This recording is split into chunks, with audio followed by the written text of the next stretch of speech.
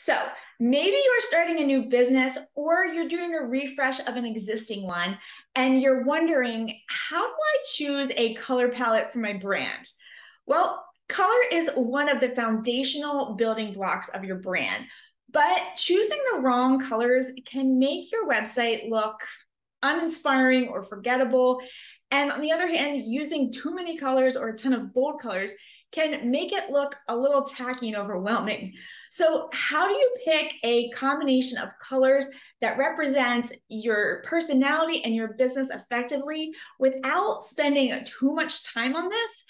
In this video, I'm going over three really cool and powerful tools to come up with your brand colors. And you can access all of this inside the free version of Canva. Here we go.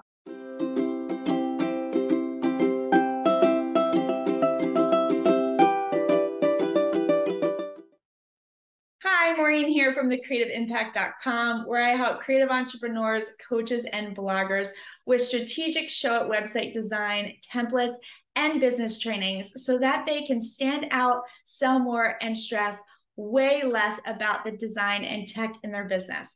If this sounds like information that you're interested in, then hit that subscribe button right now so you don't miss any of the videos I post on this channel each and every week. Now, let's talk about color. While color is only one of the elements that makes up your brand, it's a really powerful one. So you want to choose colors that you resonate with, but that also complement each other for a cohesive look. Having cohesive branding across your website, your sales pages, your social media, wherever you're showing up online is super important. It sets the tone for your business and it's really the first impression for potential customers. So let's head on over to Canva and dive into some of their amazing tools that will help you find a color palette that works for your brand. Okay, so the first thing you want to do is type in canva.com forward slash colors. Now, if you're already on the Canva site like I am here, just go up to your browser and add forward slash colors to the end of that URL. And then within here, you're going to land on a page that has the perfect tools and resources for picking your color palette. So we have a color palette generator, color palette ideas, a color wheel, and color meanings. Now, the color meanings I'm not really getting into. This is kind of neat, and I will also leave some links below for some color psychology. But you can click on any of these colors, and it does like a really deep dive into the color, like everything you could ever want to know about the color, and just a little bit more about the hex codes and, you know, what the color stands for. So that is one place you can start. It's not somewhere that I think you should spend too much time in. I do have uh, I have a link here to five steps to choosing the right colors for your brand that talks a lot about um, different moods and perceptions with different colors. Like for example, red is associated with danger, excitement, energy. What pink evokes, things like that. So I will put a link to this below as well. This is also a Canva article. But for right now, I want to focus on these three right here, the color palette generator, color palette ideas, and color wheel. All right, so let's start with the color palette generator. And this is such a cool tool because it allows you to pull colors from a photo. So if you have a find a photo on Pinterest that you just love the colors, or you have taken a photo that you really would love to get the color codes from that photo, what this tool does is it will pull those colors from your photo. So you can try a demo image by clicking here. You just see like from here, it's going to pull these different colors and it's going to give you the hex code color right below it. You're going to see the name as well as this code. And this code is used in Canva when um, you're picking colors. It can also be used on your website. Like this is the hex code that's going to be used online. You can cle- keep clicking this if you want to browse, but you can also upload an image. So again, if you find something on Pinterest or you have a picture that you want to pull the colors from, you can just go to upload an image and we'll just we'll pull this one from mine right now this little tropical beach isn't that beautiful the colors and then here's the colors it has pulled from it it's pulling that like dark bluish green from probably the water maybe the sky the browns from the sand and then here's your colors the code, the names and the codes right below. So this is a great way to really get some inspiration. So if you have some photos that you just love the colors in them, this is such a powerful tool that you can use to pull colors from and create your color palette.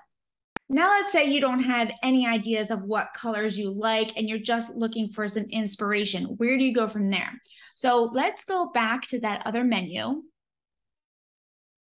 And the second tool on this page is called Color Palette Ideas.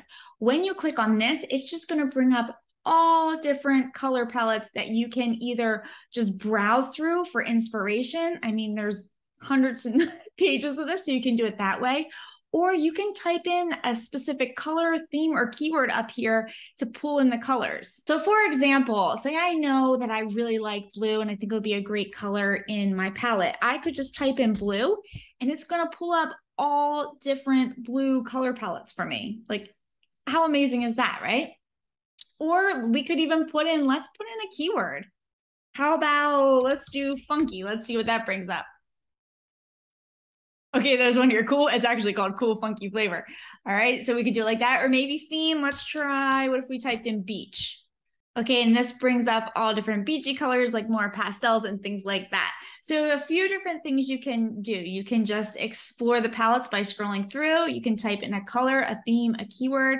If you click this link that says explore colors, that's going to take you back to that color meanings section where you can dive a little bit deeper into different meanings of colors. Okay, and lastly, let's go back to our menu. And the third tool that you have free access to within Canva is the color wheel. This is a really cool interactive tool. So say you found a color you really liked when you popped in a photo and you pulled out that hex code, or maybe you found one when you were scrolling through the different color palettes and you have a color that you really want, you can put the hex code here, or you can just use this little drag circle thing to pick a color that really appeals to you. And then it, it automates a color combination for you. So below here in number two, you can see right now, this, this is our color. This is a complementary color it chose for us with the hex codes. Now there are a number of different color combinations you can make. You have monochromatic, um, analogous. These words are hard to pronounce. Triadic.